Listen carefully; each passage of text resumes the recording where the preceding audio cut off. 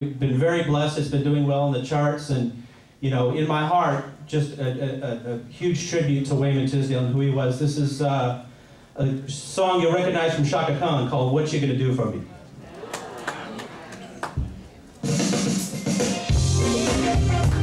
guys feel free to come up on the dance floor. You close, just don't knock me over.